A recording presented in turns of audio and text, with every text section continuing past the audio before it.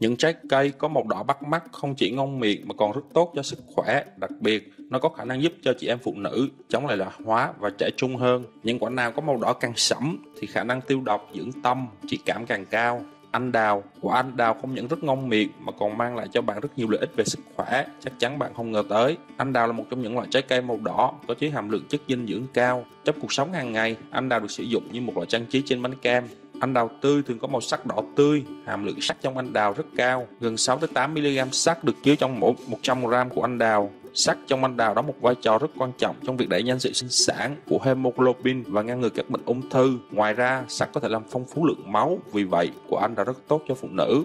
Dâu tây, dâu tây chứa hàm lượng vitamin phong phú. Ăn dâu tây có thể giúp tăng thêm sự kiên nhẫn của bạn. Tuy nhiên, dâu tây rất dễ bị ô nhiễm, do đó cần phải rửa dâu tây thật kỹ trước khi bạn ăn chúng.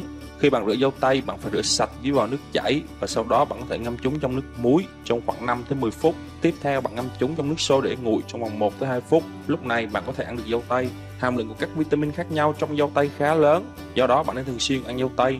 Cà chua, cà chua có chứa vitamin C, sắt, kali, phosphor, lưu huỳnh đều có lợi cho sức khỏe và làn da. Vì vậy, ai mà ít uống nước trái cây có thể ăn nhiều cà chua để bổ sung vitamin C và chống lại quá trình lão hóa của cơ thể. Ngoài ra, cà chua còn có nhiều công dụng với làn da, cụ thể là cân bằng da dầu. Cà chua có thể cải thiện và cân bằng lượng dầu tiết ra ở vùng da trên mặt, giúp da giảm bớt dầu và càng tăng thêm tính đàn hồi cho da. Loại bỏ chất sừng, lấy vài miếng cà chua cắt lát để đắp lên mặt, sau đó dùng dính miếng cà chua ấy massage vùng da mặt để loại bỏ chất sừng, trị mụn. Dùng bông trang điểm nhúng vào nước ép cà chua đắp lên mặt, chất dầu và bụi bẩn ở lỗ chân lông sẽ được gột bỏ, không còn điều kiện cho mụn sinh sôi.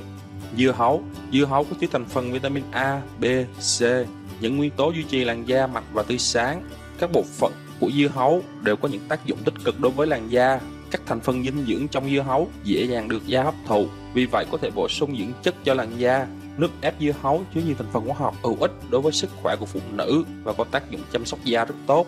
Loại quả màu đỏ khác, loại quả màu đỏ khác như nho, táo sáp, cũng rất có lợi cho sức khỏe và giúp cho phụ nữ trẻ hơn. Táo sáp là một loại quả có tác dụng bảo vệ phổi, có tác dụng giải nhiệt và dập tắt cơn khát. Các nhà khoa học đã tìm thấy mức độ polymer hóa của flavonol và sự hình thành của các hợp chất chứa axit lalic càng cao thì khả năng bảo vệ khỏi ánh nắng mặt trời càng lớn. Nghiên cứu này cũng hỗ trợ ý tưởng sử dụng những sản phẩm đã có để bảo vệ làn da khỏi tổn thương tế bào và tử vong vì bức xạ mặt trời, cũng như tăng thêm sự hiểu biết về cơ chế hoạt động của các sản phẩm này.